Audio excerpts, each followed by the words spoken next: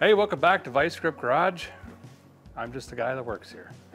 and right now I'm working on this 1968 Chevrolet Nova. It's a Yenko Tribute, I guess you could say. It's got a six liter LS with a four speed, and we're doing some engine modifications and some other things to it, but we're switching gears. We're gonna focus on the interior and what's going on in the trunk here, or the lack thereof. See, the outside looks spectacular. The engine bay is starting to come around. It's looking really good. The trunk, not so much. And either does the interior. It needs a little bit of work. There's some things that are missing and whatever else. So let's jump in and make this car as a whole look sharp. We've got a lot of work to do back here because I'm actually going to make a custom trunk. That's right. We're gonna be doing some board work, some carpeting, you name it, to completely transform this thing. We've got a lot of work to do, so let's dig in. There's holes back here. There's holes. Hmm.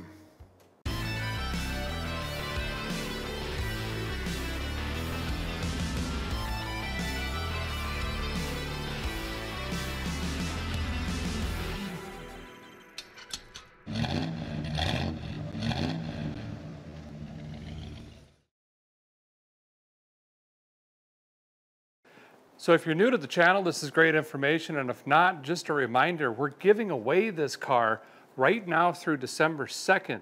You can get entered for a chance to win this Nova and $15,000 cash. Swing over to vicegripgarage.com and snag yourself up a forehead awning, back rag, jacket, pullover, hoodie, stickers, whatever you want. And every $5 you spend gives you one shot for a chance to win this and that cash. Of course, all the rules and small print and all of that and no purchase necessary is also over there at the website. So let's start back here at the trunk. I gotta give you a close look at this thing. There's some big holes we gotta patch. I think I gotta move a wire. We're gonna have to do some metal work to start this off. And then we'll get into some of the um, upholstery side. It's not really carpeting. I can lay carpet in a trailer house. Why can't I lay carpet in a trunk of a Nova? It's pretty close. So there's definitely evidence, you know, someone's put quarter panels on this, they've played around in the trunk. They did a lot of metal work on this thing, and for some unknown reason, there's these holes back here in the trunk, and we just can't have that. We're gonna be getting moisture and dirt and leaves and all sorts of stuff back up in there, and it's going to deteriorate all of this hard work that somebody did. So before we even start talking about whether we're going to coat this or rubber it or carpet it or whatever, we've got to patch this up and uh, get that taken care of. I'm going to crawl in here, get a closer look, probably never be able to get back out, and then come up with a, not really a plan. We're just going to figure it out as we go. So we do have some speaker wiring here. I'm going to leave that. Uh, there are no speakers or anything back here, and I'm not going to be putting any speaker boxes or anything in whoever wins this, if they want to, the wire is ran and uh, they can kind of figure that out. But I did notice this, which is also something we're going to have to fix. That is the 12 volt fuel pump wire running through a rusty hole below that hole. So now I've got to lift the car up. We're probably going to end up cutting that and uh, we're going to have to figure out a better way to get the fuel pump wire to the fuel pump before we start cleaning this up. It looks like they cut it open with a pickaxe. So we're going to have to do some hammering and smoothing and cleaning up. And uh, we're going to weld in a plate. We're going to use some primer and uh, seam seal and get this closed off correctly. And we have to clean out in there and do some other stuff as well. Up under the rig here, there is our fuel pump wire. I need to clean this up too. Um, not necessary. 42 miles too long we can make that look a lot better. Also just noticed they put, it's hard to see, this is an air shock nozzle, which means there's a valve in the trunk, which means there's a hole already in the trunk that's already drilled.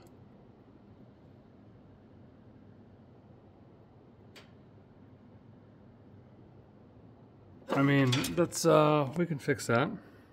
Another thing the guy's gonna do here is just go ahead and take the 37 seconds and route the brake line through the fastener and clip that's sitting right here. And then I'll take off the bracket on the other side that's not being used, and that'll clean it up. I have the power wire cut to the fuel pump. We'll pull that back through the trunk, disconnect that. I have to find a grommet or something to put that through. But before we get too far ahead of ourselves, I need to take some measurements because if we fast forward, I'm going to be putting a board right across there to seal off that trunk and I don't want that line to be interfering with that. So I've got to be cognizant.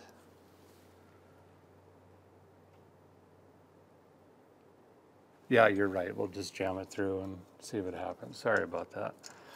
Anyway, there's the bracket. That's off.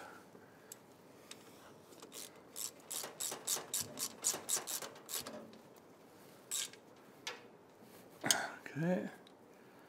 I bet those holes were for the air shocks. And they used just one of the holes on that side so they didn't have to take the Schrader valve out. Excuse me. Had me too many Takis. Muy fuego. You know what I mean?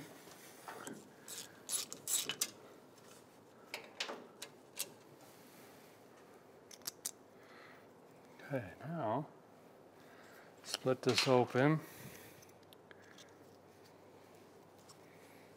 Come on now. There we go. Get it over the line. Put it over here. Every time I say over the line, I want to yell Donnie after it, but I don't think that's right.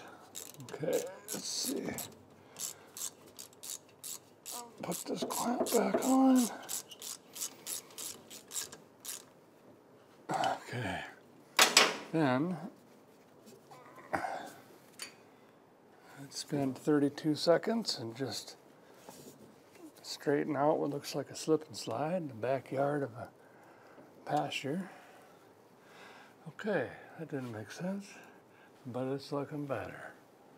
Now, bring it back down again take a look. Yeah, I somehow didn't notice that right there. So we can uh, pull that out.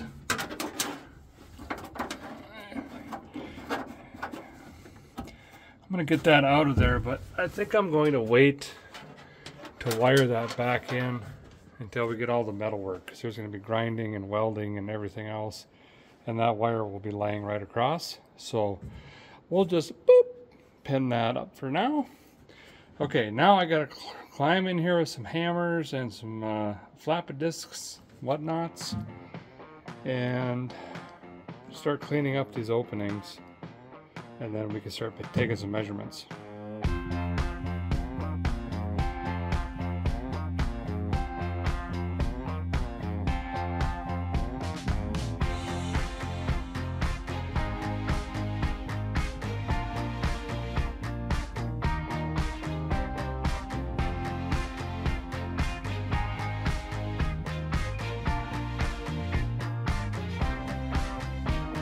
Guys got the Schrader cut out and cleaned up these openings. Had to, you know, persuade them a little bit to get down out of the way. Now I'll crawl back in with a notepad and marker, take some measurements, and uh, we're going to cut out some patch panels for those to get that sealed up. Guy got to thinking, can a guy get it from back here? So I don't got to crawl in there again. Sure, we'll try. I'm going to go with four.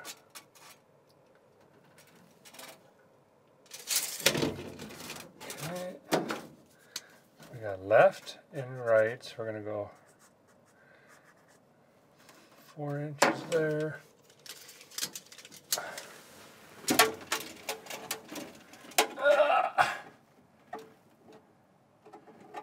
Five and a half, five and a half. Okay, over here.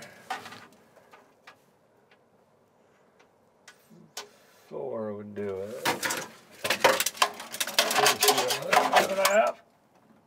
Five and a half. Five and a half. That makes it easy. Well, for something this small, really no need to use the table. I'll just, uh, you know,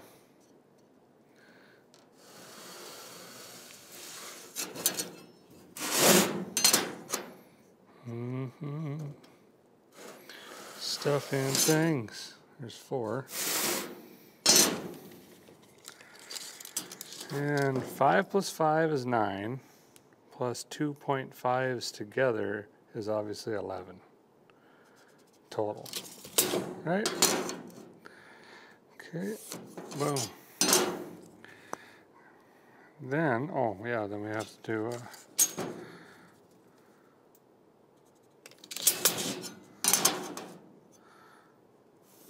them in half. That ought to do, that ought to do. Gotta get my glasses. There we go. Now I can't see nothing.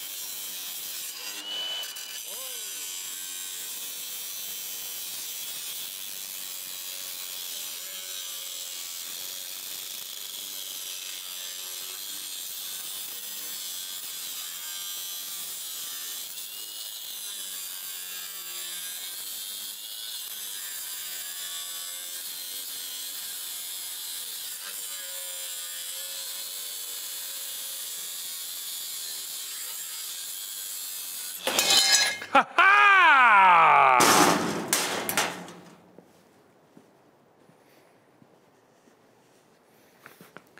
Well, Guess I'm back.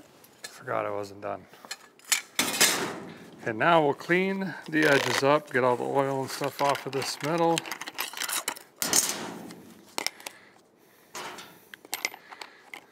New glove goofing tonight. Finally burned holes through my other ones.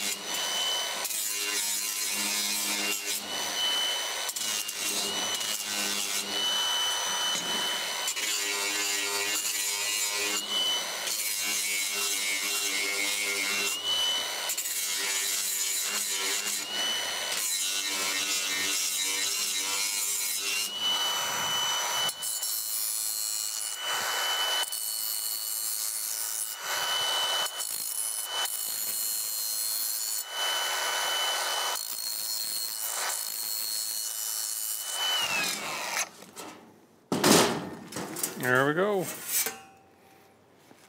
Two plates. Well, the guy's got a couple of coats of weldable primer on this drying right now. We can't get to the bottom side of this. It's in that cavity. So I want to make sure we're protecting the metal there before we weld that into place.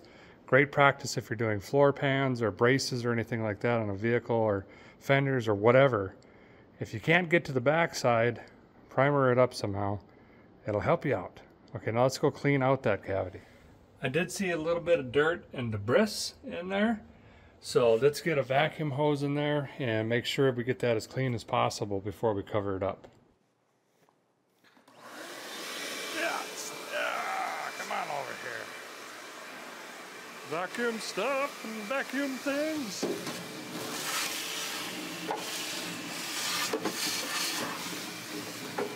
Oh, cleaner than I thought actually.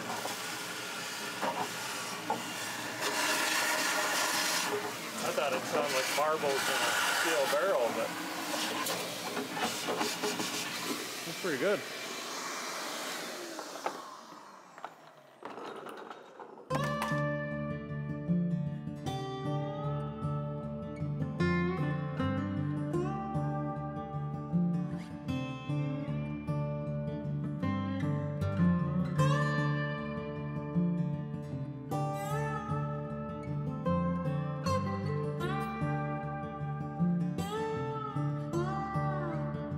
Well, that's all tacked in. Not the prettiest thing I've done, but from sitting way back here with no helmet going, ah, it's, you know, but it's a lot better than a gaping hole. And really, it doesn't matter because we're going to be seam sealing that in here in a bit. And pretty much factory floors, that's all I did was stitch weld it and booger it up.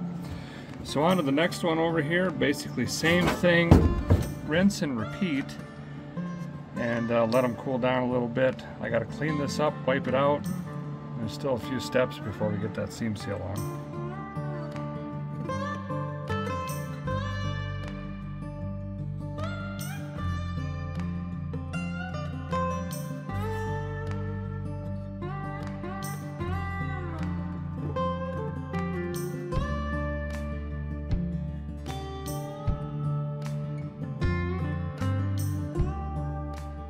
Plates are cooling. Gonna run the vacuum through there again.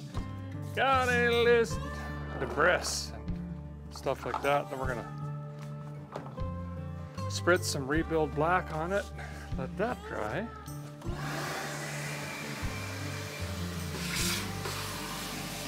All that sanding on the flat disc and stuff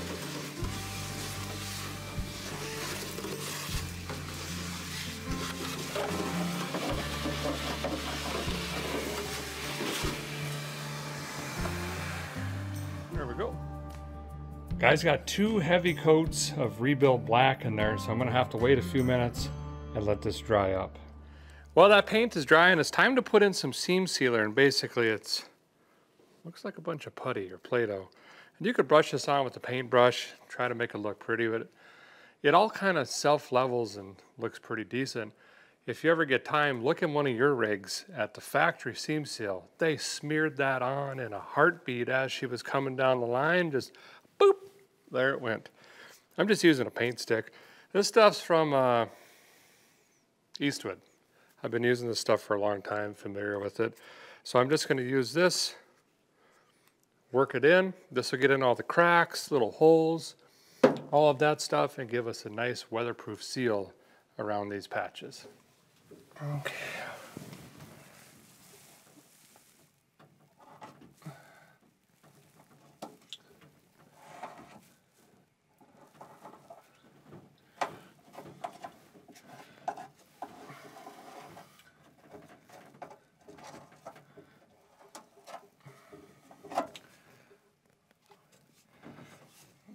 In this particular case, it doesn't even need to be that pretty. All of this is going to be hidden and covered. I would rather be liberal with this and know that we're going to have a really nice good seal on the trunk than try to make it look pretty and end up with a leak. I've also got a hole on the other side that is small enough. I can just run some of this in it that'll patch that for us.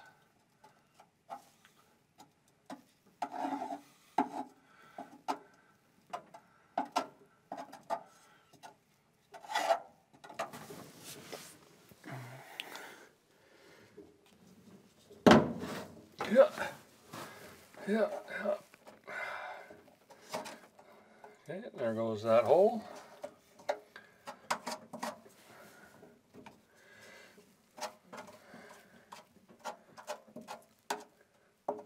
It's like a cake frosting, really. I don't know about you fellers though. I prefer the whipped cream frosting over the cake. What is it? Not whipped cream, but there's another kind of frosting. What is that called? Um, cheese, cream cheese frosting? No, that can't be right. I don't know. I don't build cakes. All right.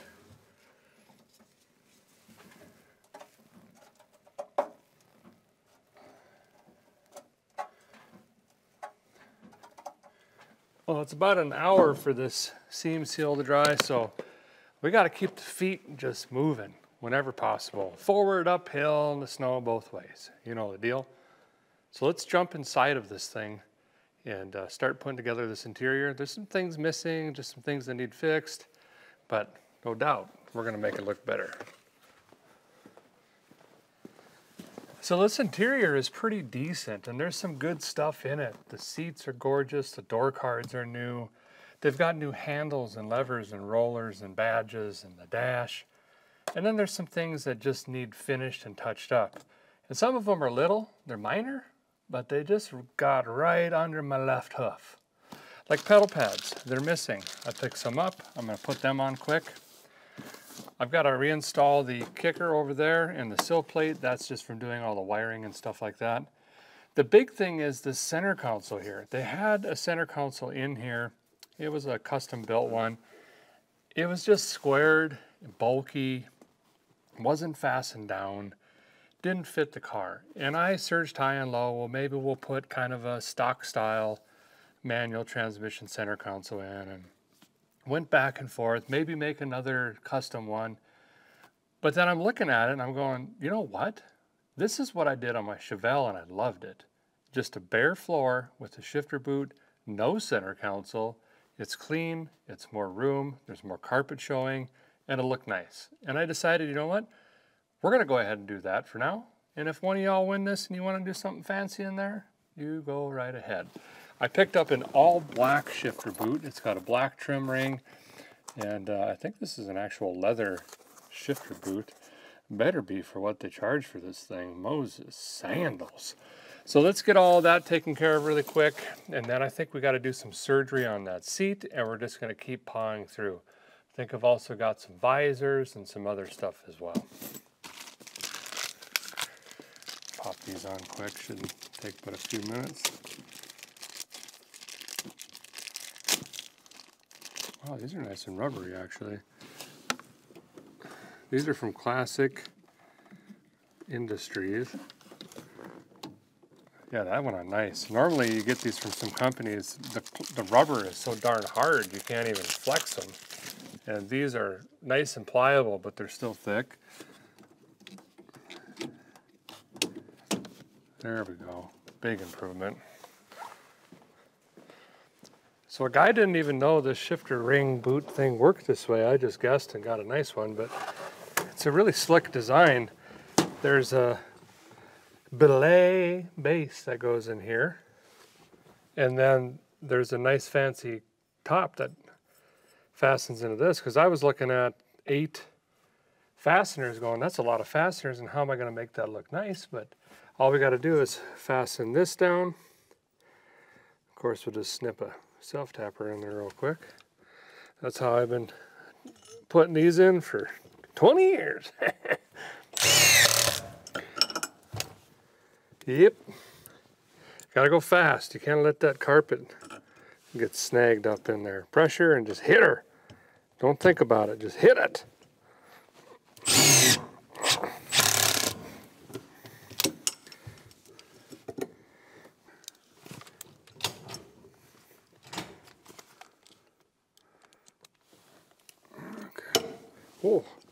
Oh, almost went out the car. I'm Missing a little snap ring on this.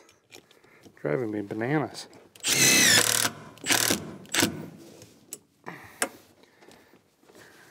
Might need to get a longer one for here.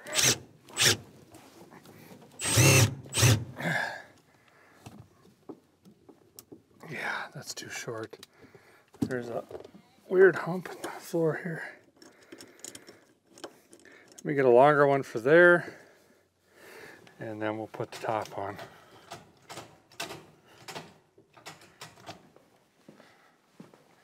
Yep, yep, yep.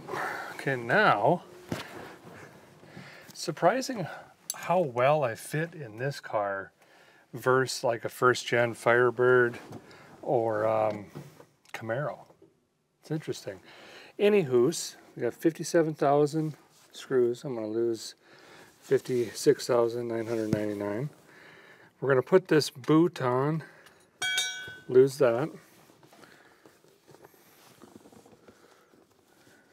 This is going to be the tough part is I've got to get this around enough where it's going to be squeezed everywhere but not get in the way of the fastener holes. How does a guy do that?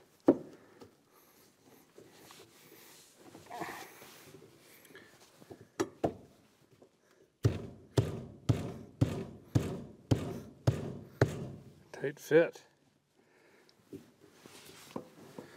I think I'm going to need a mallet. Up, up. Tonya Harding 200.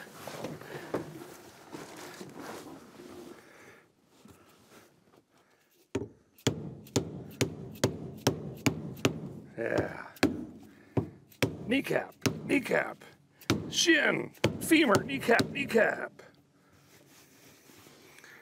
There. And then maybe these little doodabbers will draw down the rest of the way.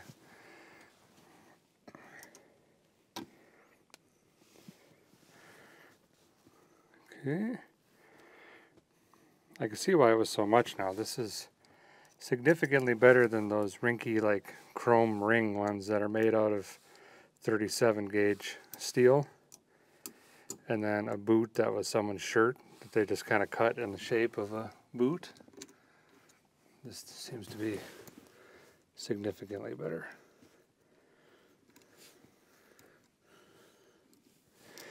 Well, give me an hour and a half. I gotta get all these hardware pieces in. Last thing a guy's got to do is put the ball on. You know, I've had some with the ball and I've had some with the uh, the T handle. You know what I mean? But there we go that looks nice. It's neat. It's clean. It's simple, functional. I do all my Chevelles when I do my conversions. This is how I set them up. Just because I don't like stuff, you know, in my legs and, and whatever else. So pedals done, shifter done.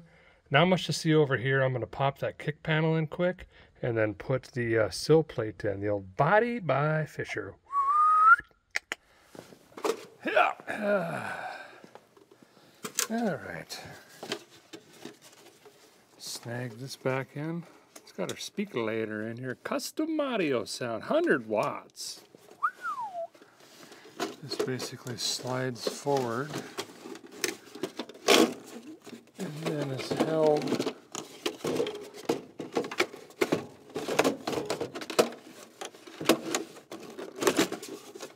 Why am I having such difficulty? Oh, this airbox.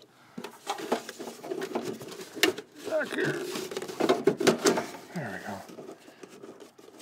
And slidage, fittage, wireage. Get this carpet nice and tucked. There we go. Boop, AC, boop, AC off. Speaking of, some of you notice this doesn't have a heater. Yes, pretty common with resto mods or engine swap vehicles. That stuff gets deleted pretty much straight away. Uh, mostly for just room, stuff like that when you're doing engine swaps. It can obviously be done with the stuff in there, but it's a lot more difficult, time consuming.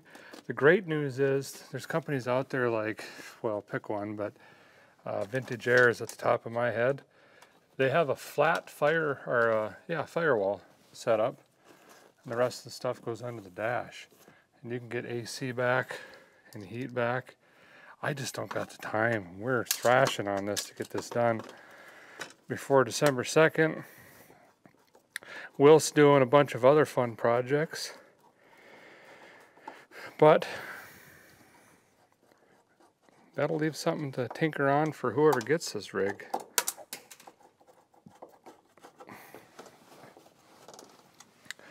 Okay, sill plate back. This this isn't going to stay like this. I just have it hooked up like that hanging. When we get to that point, we can do some monitoring. We're going to have to do a TPS auto reset, all that stuff.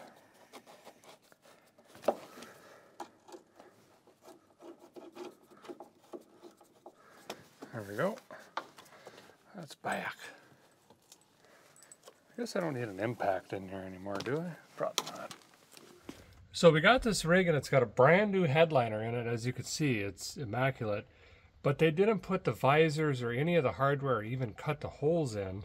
So we're going to get that done next. I did the captain side already. I got these beautiful reproductions. New hinge, all new hardware, everything. And they look nice. So we'll go over and uh, do the drinker side. So the most terrifying part is you've got to find this hole. And uh, most GM cars is pretty obvious because there's like a bulkhead compartment here. But you push your finger into it, push it in like that. I'm going to take a knife, cut an X in here. Then I can set the hinge in and then use that as a template where those screws will be. And if you can find one, then you can easily find the others. Okay, guy's got his professional headliner tool. Nope. And uh, like I was saying, find the circle. This is the most terrifying part. You know, check, maybe check again. You know, just to, just to be sure. We'll cut that. Jam that in there. Then we got to go fishing.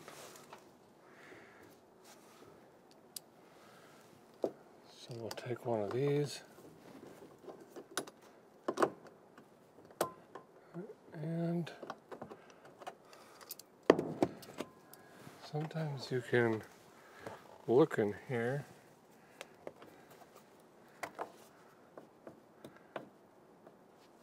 Okay, there's one right there. So if a guy can get that one, we'll be off and, you know, walking. Maybe, maybe a brisk walk. There we go. Whoops. No wonder it's looking weird. I got this on backwards. I'm sitting here thinking, this shape looks funny. There we go. Fred was sitting there yelling, Derek, you got it on, you just can't put it in that way, it's backwards. Uh, I figured it out, it just took me a minute. Then, we just take this one for a walk. Boom, there it is.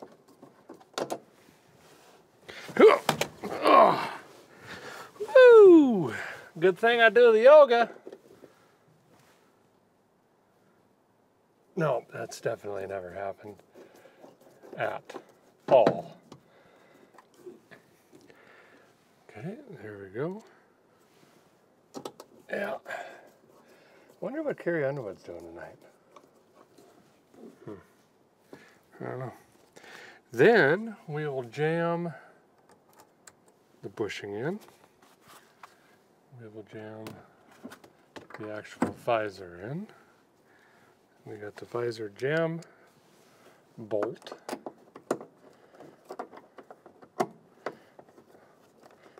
Bring this in. And you really gotta give them. Give! Giving! There we go. That looks really good. Oh, I better give her some more. Extra give! All right. Visors in. Starting to look a lot better in here. Just little things. So on the drinker side seat here, Jessica figured out that there's only three holes. There's one there, here, and here, but nothing here. Wasn't even drilled, so we gotta fix that. So what we're gonna have to do is actually add a post to that seat. Uh, this side is like snapped off or broken or something, or they cut it off and just fasten these. That's no bueno. So um, I think we're gonna fix it and then we'll make a template, probably out of CAD, you know, cardboard aided. And then we'll drill our other hole and get the seat back in and we're gonna be pretty close to finish with the interior here. So this is uh, original seat stud right there. You can see it's pressed in. It probably has a knurl or something on it. This one is, whoop, she's Wi-Fi. You know what I mean? So that's, uh, we could take this bolt out, that bolt out, get this whole track off and actually fix it uh, off the seat. We might have to do some welding and such, and that way we're not harming the seat in any way because this has been, obviously this is new springs, new foam, you know, new upholstery, uh, everything but the rails itself. So we don't want to we don't want to mess anything up on this. Got the rail off. Now we'll grind this smooth and then probably punch it out.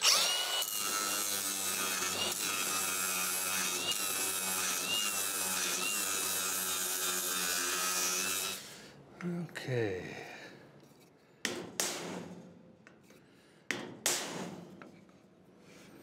Hmm, it's a square nut.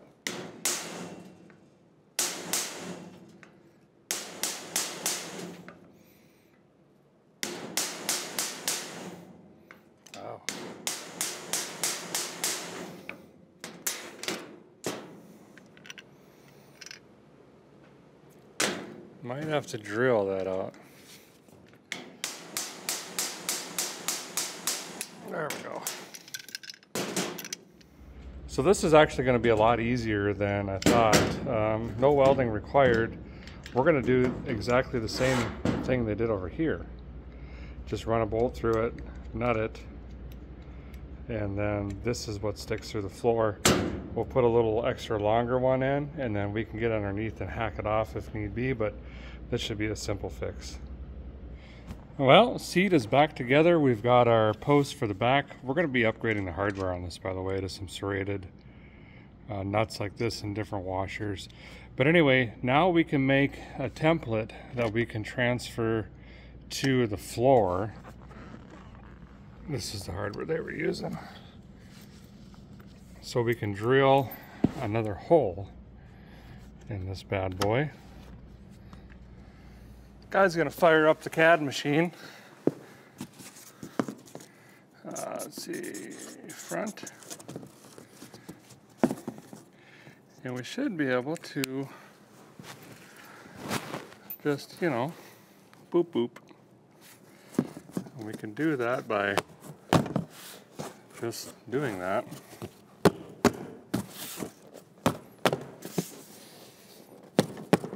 Just don't miss. That would hurt.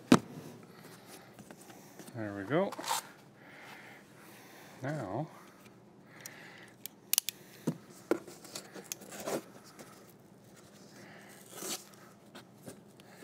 we can try to clean this up just a hair. Actually, we just need this one.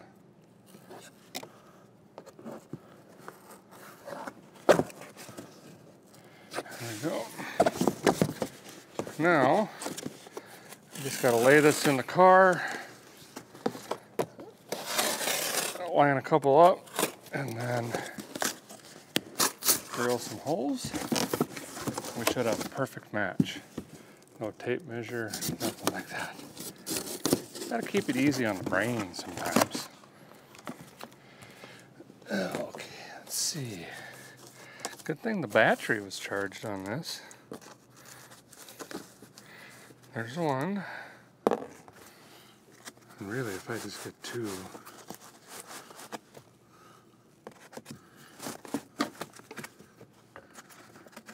There's two. That one's too short, but I can do that. Now I should be able to drill, boom, right there. Thought about this here for a minute. I don't want to put a run in this carpet. It's in great shape by just drilling and catching a snag and it could go and just ruin it. So I sat here and dopped this paint marker and we should have a mark under there now. We do. So I'm to get a Rasier Blaude, they're French, and just cut a little patch here. Or I could take a finger burner and just melt this. This is old, well, it's new loop, but this basically just has glue and this really chintzy fabric. They're a repop, you know? If we torch this, it'll bunch everything up and we could drill right through that as well. So we'll see which one I find first, a razor or a finger burner. Pull the combo move. Sorry, I didn't mean to yell. Hit her with the finger burner and then followed up with the Rasier Blade. And you can see how hard and crisp this is. So you can cut really nice, clean squares or circles or whatever. And if you're wondering how you burn carpet without ruining everything, you can't obviously just come in here and do this and hope. You fire your torch up and you come straight down. Boop! That's all it takes. Well, it's time for a guy to see if and he got even close.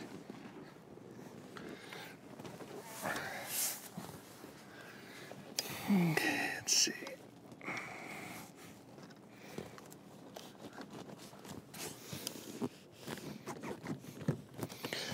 Not sure what. I think I need to slide that one. Boom. In.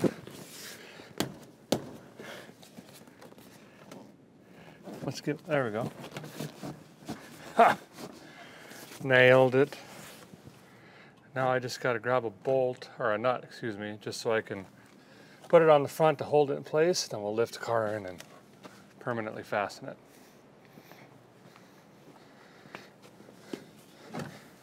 Okay.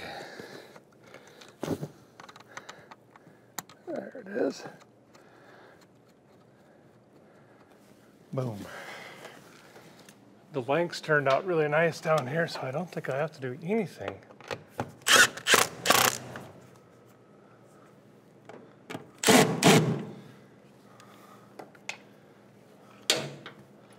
Add a washer to this front one.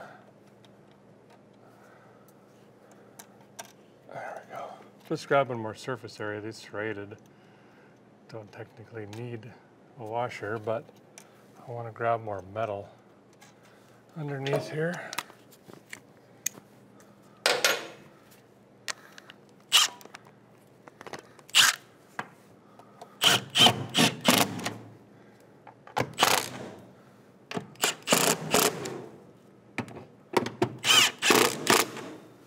There.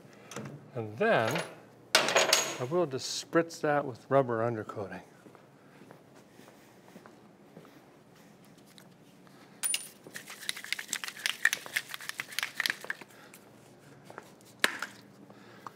get these drain plugs.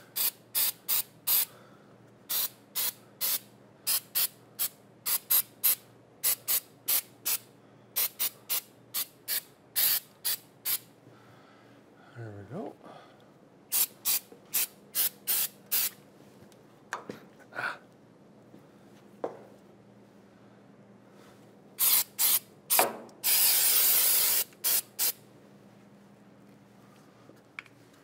Yeah. There we go. Seats back in. A couple small details here, easy fixes. We've got like a rear seat truck Chevrolet floor mat. Nope, that's gotta go. I got something better. I've got here some official GM restoration original floor mats. We're gonna throw these in. Not only are they gonna fit correctly, they're gonna look great, and they are as close as you can get to what was in the car originally. That looks significantly better than we had a cheesy carpet one back here. Now I just got to swing over, button up that side, and then the last thing we're going to do is actually hang a rear view mirror in this thing. So the first thing a guy had to do is figure out what's center, center, center. Now, it's a different feel than a tape measure. You can tape this out, but this stuff is squishy, it flexes. I more so go off of things that are fixed, like the speaker grate, trim, stuff like that. This little tiny dot is my reference point after I mess with it there. Look at that flag blowing. Yes, sir.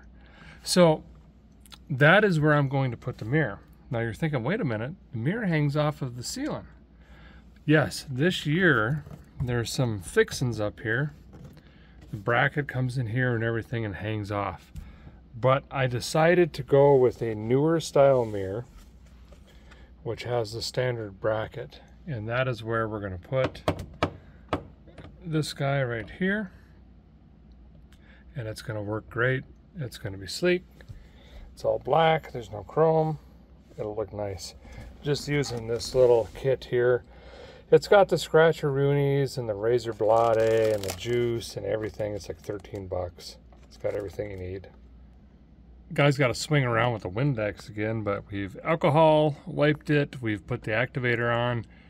Now we got the glue, and this is the hangy button doodabber. Let's see. Yep, yep. So a little bit more pressure, about two minutes, three minutes. We'll let go, and then I'll come back and clean this up, and then we can hang the mirror. Boom! We've got marriage. That looks pretty good. Well, the guys got the interior finished up, or what we're going to call finished with the time that we have anyway. But listen, it looks nice. It's neat, it's clean, it's organized, it's simple, and virtually everything is brand new with the exception of a couple small things. But hey, whoever wins this car, it's gonna give them something to do to tinker on a little bit. Speaking of tinkering, we've got to move to this trunk. Sounds simple, but this is actually a pretty big and involved project. I just don't want a plain Jane trunk. Yeah, I could spray bomb this thing and just send it down the road, but this particular car, I'm not used to the shiny paint and it's making me feel a little woozy. I got different thoughts in the brain buckets. I think this has got to look better than just a typical trunk. So let's dig in. It's going to be a really late night, but I want this to be great. I want the whole car to be just excellent. So let me get some tools, materials, explain what's going on. We'll dig in. Okay, we got a carpet kit here, and it's just like the base or the floor. It's a loop, and I got the better one that's all trimmed out and everything. But this isn't all we're doing. You see, if we throw that in here, it could look pretty decent, pretty standard trunk. Uh, by the way, I put some rubberized undercoating around all the seams and seals late last night so it could dry. And um, you can kind of see it in there, covered all that stuff. It's good to go. But anyway, we lay that carpet in, it would look pretty good if we had everything painted completely and everything like that. But I want to take it a step further and actually box this trunk in with carpet. So there'll be a panel here, a panel back here actually, panel in the front of course, and a panel on the side. And it'll make a nice boxed carpeted area and kind of a kind of a custom trunk deal. It does take a little bit of the room away, but what are you going to throw back up way up in there? Nothing. So let's just hide all that garbly gook and uh, we can make it look really nice. So we need some board stock and some material. So here's some templates I've been working on. Testing a stapler over here. This side I've got finished cut out. This side is uh, just kind of the outline. Got to finish cutting that out as well. This will be the front board or the farthest forward board. Thin material, light. But this will be our foundation to the project. Then over here on the workbench, we got some black loop carpet. And uh, I can't remember how many yards this is, but basically we could just throw it up here. This is the back side, of course. We'll throw it up here, mark out what we need, cut it, and start constructing these boards. All right, so first step, of course, is let's just throw this in, get it out of the way, and let it start conforming to the trunk design.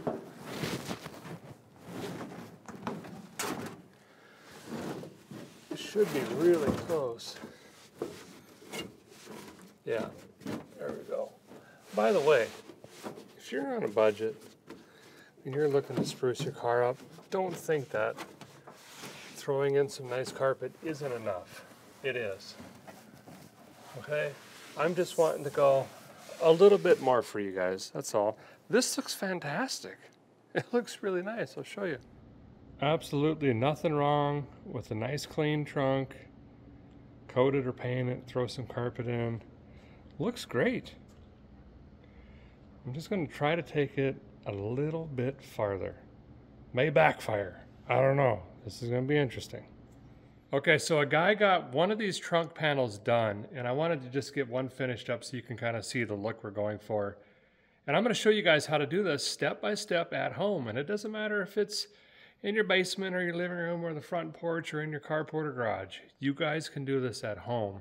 So let's look at the before and after here, and then we'll go whip one up.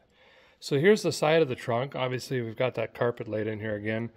And I'm wanting to hide kind of just this random ugliness, right? Just block it off and make it look cleaner. We're going to do the same in the front. So here's kind of what it looks like without the panel. And here's what it looks like with the panel in it. Now I'm going to show you guys how to do this right at home, super easy and quick. So here's my workbench here. It's a 78, works pretty good. Here's the things that you're going to need. Uh, good scissors or Razor blade, just some typical adhesive. This is just Permatex. A plier doesn't hurt to have. I always carry one on the hip disc. Otherwise, what, what are you doing? You know what I mean? And then a stapler. I've got severe arthritis and carpal tunnel, so I use a digital one, but just a plain old, snappy, uh, Stapler will work. This is just a 3 8 10 millimeter staple. It's a flat crown. And what that means is, here's your staple shape. It's flat on the top because we're trying to grab this material and hold it down and have the most surface pressure instead of having a crown crown, which is like an up or like a bubble shape. That's for like cabling and wires and stuff like that just a flat crown, 3 eighths, and typically whatever your material depth is will change the length of the staple, but a 3 eighths 10 millimeter is pretty standard for upholstery work. This is just loop, black carpet. I get it by the yard, and it's significantly cheaper than buying kits or whatever, pre-cut stuff or anything like that. This is what they mold carpet panels out of. Um, it's exactly what they made the trunk thing out of. Uh, but if you're doing anything different, like door panels or kickers or trunk panels or anything like that, or you know deck lids, this stuff will work just fine. You can see where I cut this out, but let's go through the process quick. I had a blemish down here I needed to get rid of, so it's going to be a little bit different over here. Okay, so I chose to buy this kit, and this is like literally balsa wood. This is really light, flimsy uh, material. And these are pre-cut panels made specifically for the 68 Nova. And they were, I think about 180 bucks, okay? Which is a lot of money, let's be honest. But the alternative, you can make your own if you have the time. Um, I would start by using like construction paper, cutting it and using tape, and you'll come up with a shape pretty much just like this.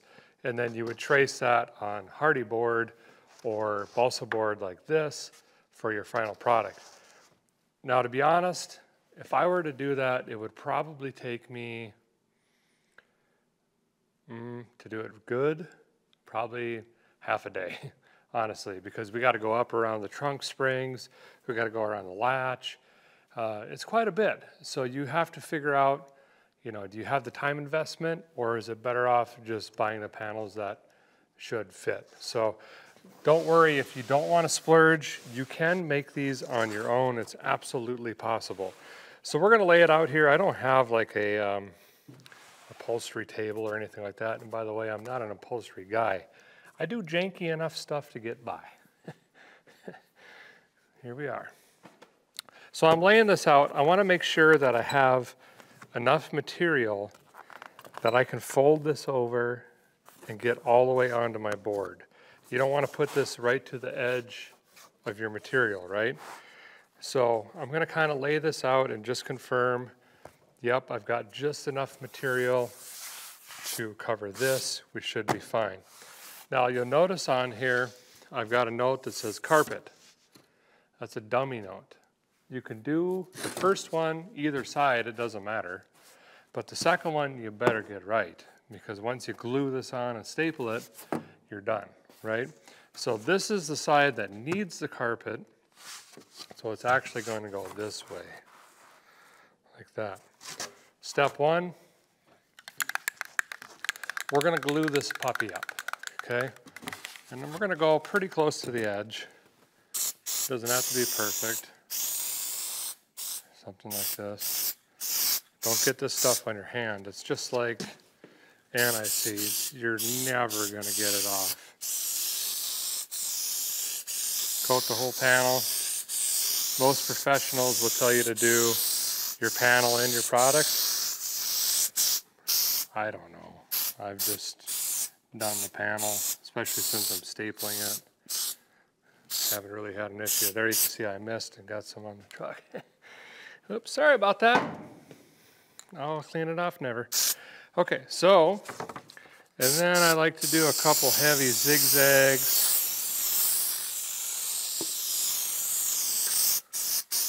Okay, she's glued up. Where'd my razor go? This razor might be shot. We're gonna wait just a little bit. We want the glue to be tacky, and that's where we're gonna flip it on here. In the meantime, I'm gonna grab a new Razor because we need that thing sharp. It's gonna take a tremendous amount of cutting to get this set for stapling. There we go. Now she's tacky, so we're going to flip this over to our carpet note, making sure we have enough material to go all the way around this. Slide this on my workbench here.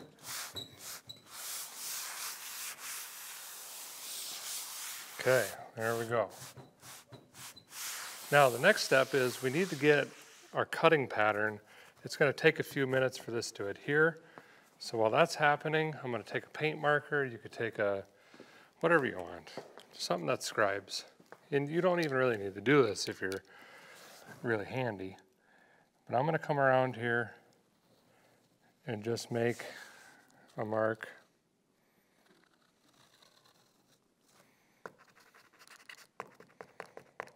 There we go. I'm going about um, two inches, two to three inches around this. We just need enough material to pull up by hand and adhere.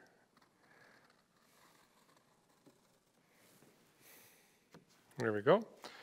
So that's done. We're going to let this dry, set up for probably, I don't know, five, ten minutes.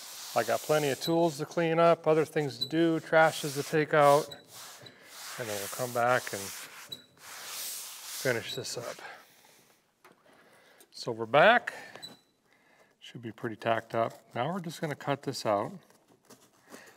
Kind of the first step. And then we have to make a bunch of cuts that will allow us to fold the material properly over our template. Try not to hit my show quality paint here underneath.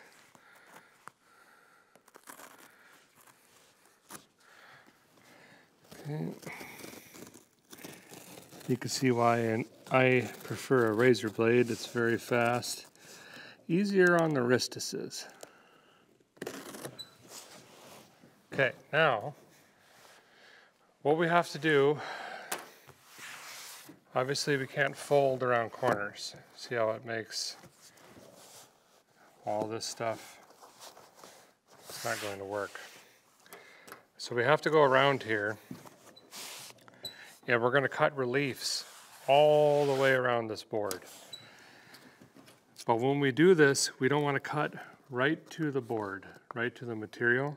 We want to leave at least the thickness of whatever this is. So if your board is an eighth of an inch, leave an eighth of an inch. If it's a quarter, leave a quarter. That's so when you fold it, you don't have exposed material in your fold. So right away, I know I can come off every corner. And when we come off the corners, we're gonna make triangles. Because when I fold that up, we need to have a lack of material that allows it to work around that corner. See, so if I pull this up and I pull this up, they're okay. But look, when I pull this up, they're interfering. So I need more of an angle. See how that's fine now? So we're gonna have to go around this whole thing. And again, when we cut this, we're leaving material here. We want that to be the same thickness at minimum. So when we fold this over, it's not bare. And this is time consuming and it is quite a bit of work. But this is one of those steps that's going to make it look a little bit better and it's going to help the quality of the product.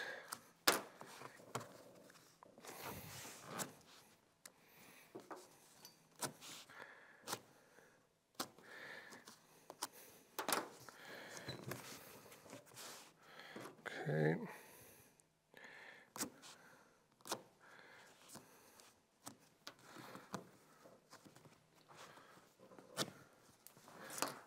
See how I'm kind of testing this as I go around.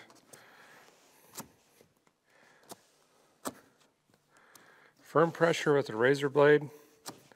Quick, quick movements will make this go a lot faster.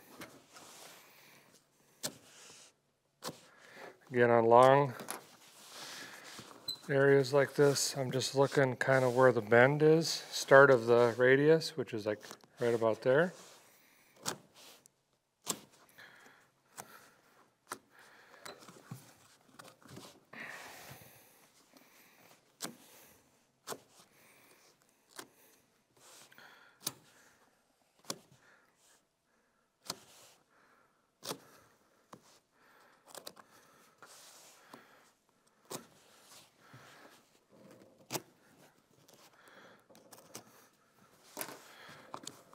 Just be careful now. This could put a guy out of commission real quick. If this razor blade goes the wrong direction or gets a finger instead of carpet. Moses, sandals, that would be a bad day.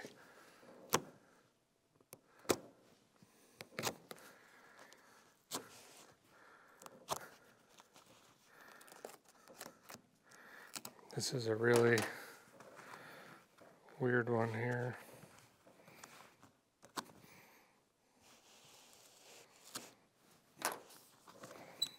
Here we go.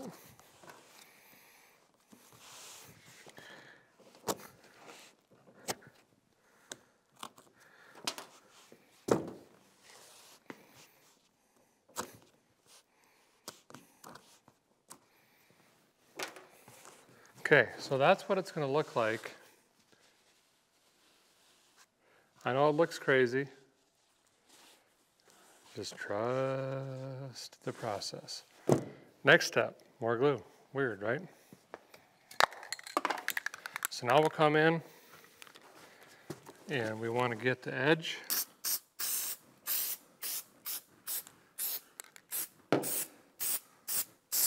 Right where we're going to be folding over. Try not to go too far because it's just going to get all over your hands.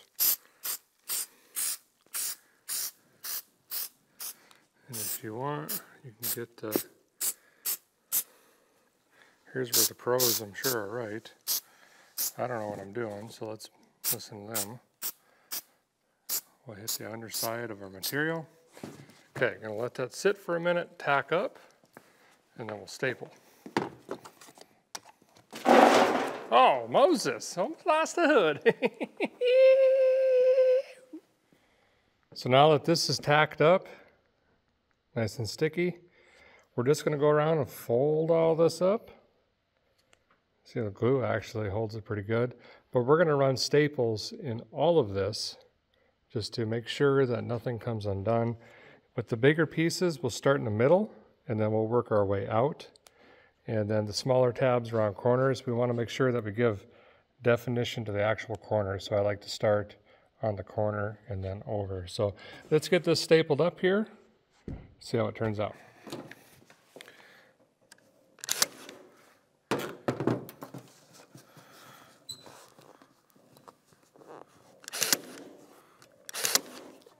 Milwaukee likes to do two staples at once sometimes. Small adjustment there.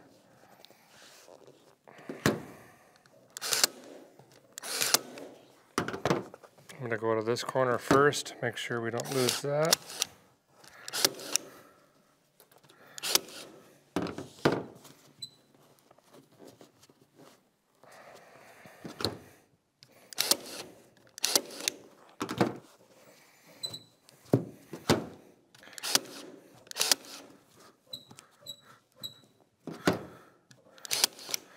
This is a bigger piece. Gotta make sure the this is making sense.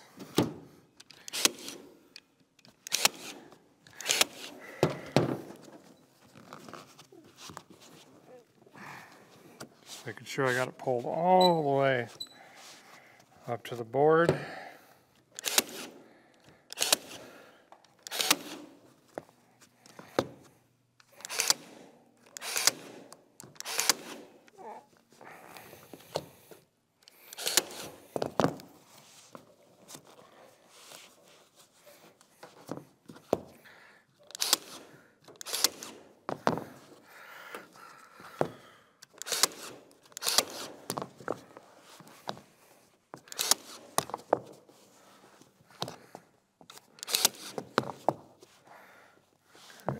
another adjustment. You might miss some of this, no big deal. Just takes a second.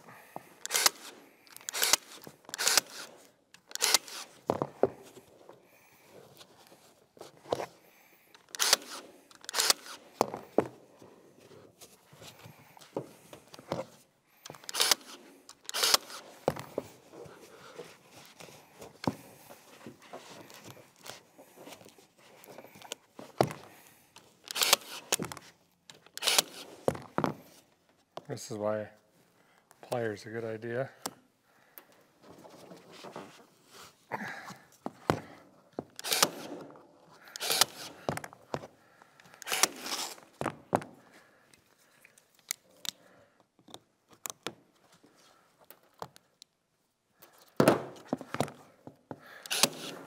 Okay.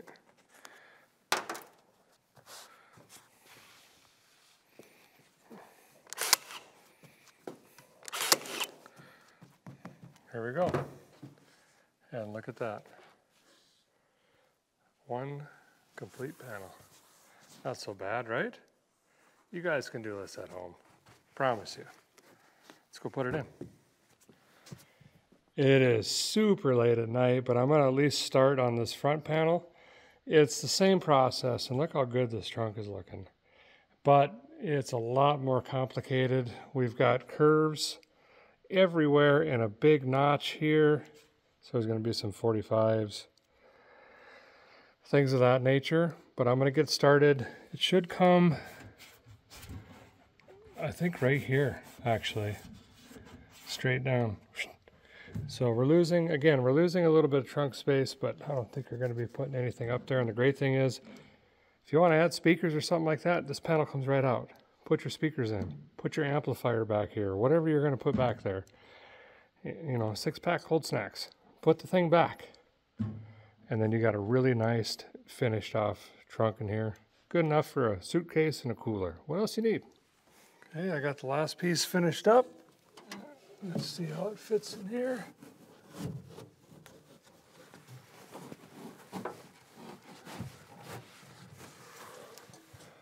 These should kind of push together.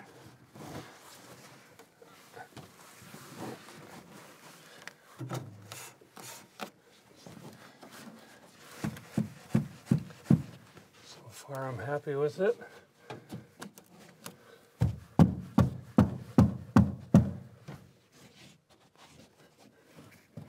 Yes, sir.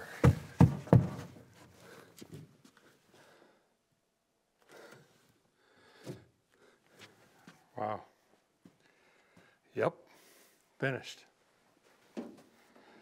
Well, there we have it. One custom trunk build. That looks fantastic. And the interior makeover went really well.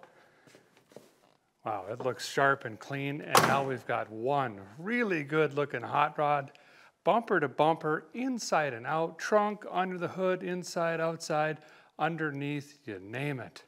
That's going to do it for this episode. But listen, I'm out of time. I got to have this thing ready for one lucky winner.